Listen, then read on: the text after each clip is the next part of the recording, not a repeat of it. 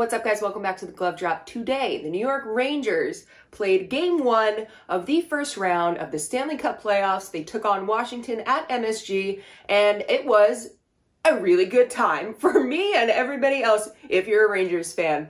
The Rangers in net had Shesterkin, and in net for the Capitals was Charlie Lindgren, who is Ryan Lindgren's older brother. And apparently they're not talking until after the playoffs, which makes sense to me. It was a somewhat physical start to the game. You would expect that being the playoffs, but it was called very tightly. The refs were really calling a lot, and you started to see on both sides players kind of holding back, not completing any of their hits. And in that first period alone, even despite the fact that we weren't seeing the types of hitting that I would expect in a playoff game, the Rangers and the Capitals each had two power plays, and there was a four on four event. So that first period was really mainly special teams play. The Capitals could not really get anything going offensively, at least in terms of being able to get shot off. They only had four shots on goal during that first period. The New York Rangers, on the other hand, had seven. But it wasn't really like seven because there was eight blocks. The Rangers were putting the puck on the net, but the Capitals were stepping up and that is one of their strengths that defensive strength, the whole team, just the willingness to get in front of the puck. And that's exactly what they did. The Rangers still managed to do that as well, though they also had six blocks in that first period.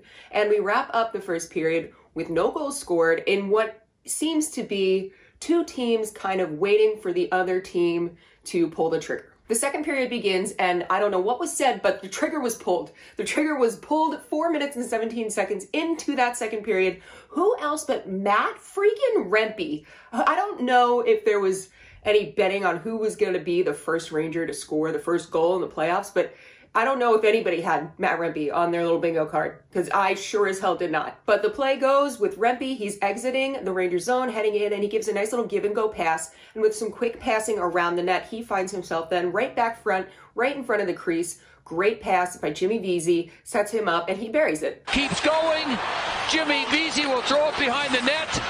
And then one little, couple little passes, and there's Rempe to put it in. The Rangers take the 1-0 lead. 33 seconds later, we see a huge hit by Alexi Lafreniere on Iorio, puts him right into the boards. I feel bad for him because you could tell that his shoulder was dislocated. It was a clean hit, but he still dislocated his shoulder. He skated off like that. You know, when you're like holding your arm, I don't know.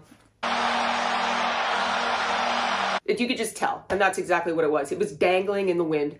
But it worked out for the New York Rangers because that pass prevented the Capitals from clearing their own zone. It caused a turnover. The turnover then was passed out to Vinny Trocheck and then to Artemi Panarin, and he beats Charlie Lindgren. Rangers are up 2-0. Only he played less than two minutes in the first period. It was a hard hit by Lafreniere. He goes into the boards, and that quickly. And then a minute and 33 seconds later, once again, we're seeing this fourth line come up big. There is a huge faceoff win by Goodrow. He gets the puck out to Jimmy Vesey, and Jimmy Vesey sails it right back in. It was about this. And just beautiful. It was the three minutes I've had in a really long time. That's so many jokes can be made about that, but yes. and uh, the Rangers take a 3-0 lead. After that, we do see the Capitals put on a little bit of pressure. They have some also quick passing in the zone. Pass from Protas out to Tom Wilson. Tom Wilson fires it towards the net, and it is deflected in by Fehervary, which the reason he was open, Mika Zibanejad fell out of position. Zibanejad fell out of position, and then he couldn't get himself back in time to block the shot or block the opportunity for the shot, and then uh, it did bounce off of Mika Zibanejad's leg. So the puck all the way around, and the quick passes, and Fehervary, who is. But that's okay. The Rangers still have a 3 1 lead. The third period, the play seemed much more similar to that in the first. There was a ton of, it was just a back and forth game. There was no real continued zone presence on either side. There was, um, Rangers had a little bit more of an offensive edge, but again, it was just back and forth and back and forth, and you didn't really see too much of the full blown hard hits. And I think it is because both teams were concerned about penalties. But with 3 minutes and 43 seconds left, Mika Zibanejad gets the puck. There's a great defensive play by Roslovic. He sends it up to Mika Zibanejad, who then, in a outlet pass, has Chris Kreider flying, absolutely flying, does not break stride at all, collects the pass up the left wing and he scores beautiful. It was a beautiful goal too. It was a fake out and then boom, sorry Charlie, it, not today. Come back in front, intercepts it, now gives it to Zibanejad who looks up immediately and there's Kreider blazing down the left wing. Chris Kreider scores his 41st playoff goal of his career and the Rangers have the 4 1 lead. Time runs out, and the New York Rangers take the 4 1 win. I think it was a great game. I would have loved it if they were not in the box as much. I would have loved it if we saw a little bit more of that aggressiveness, that edge that we've seen the Rangers play with. But I think because the refs were calling it so tightly, it was kind of holding everybody back.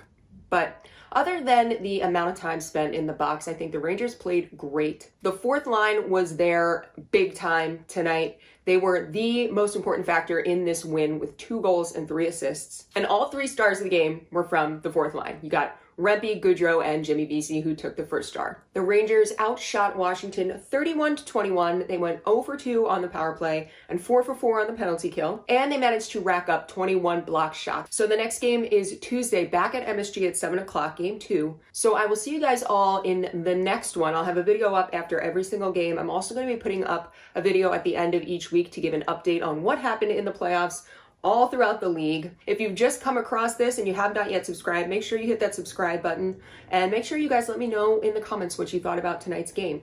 Do you agree with me that they weren't playing as physical or do you think I'm stupid and I don't know what I'm talking about? We'll see. Probably gonna get a couple of those, but it is what it is. So I will see you guys all in the video after that. And in the meantime, let's go Rangers!